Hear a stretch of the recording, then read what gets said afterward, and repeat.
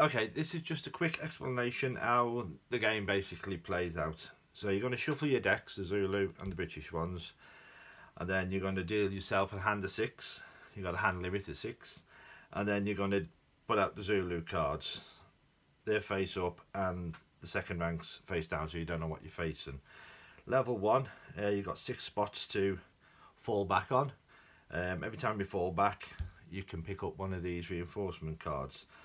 If you kill a Zulu card with an icon on it, you get to um, pick up a new British card as well.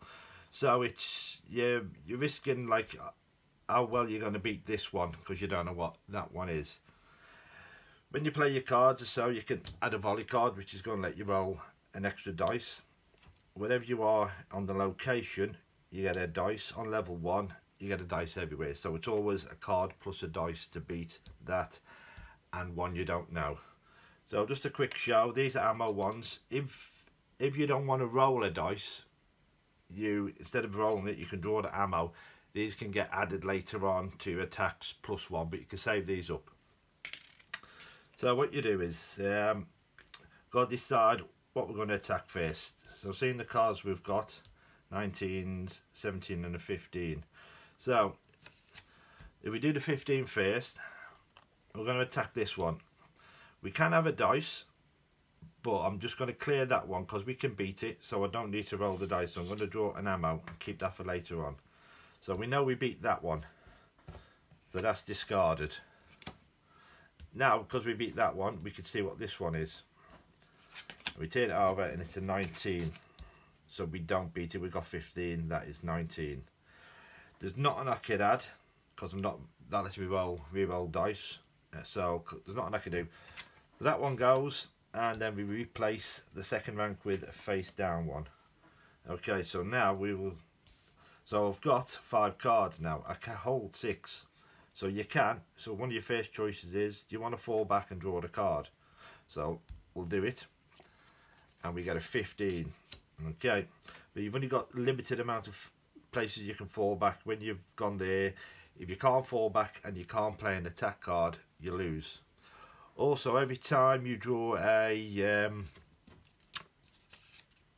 a relief column card there's some in each deck you move the relief column one across.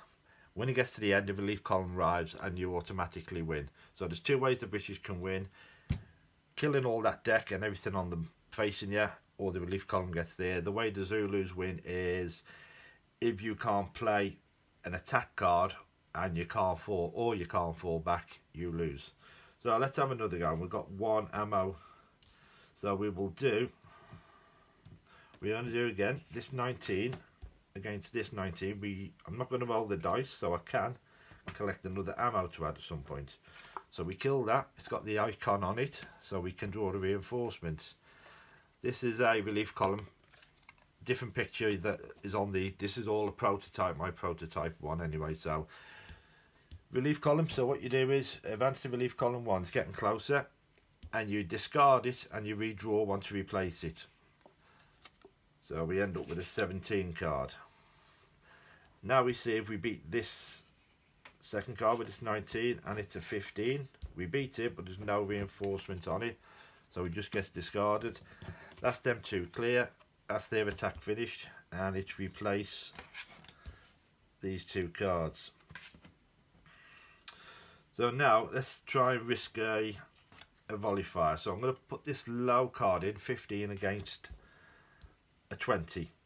I get a dice anyway because of my location so it's still risking it a bit so what I'm going to do is I'm going to use one of my five volley cards which lets me roll two dice now so I'm going to get two dice plus the card and we get six.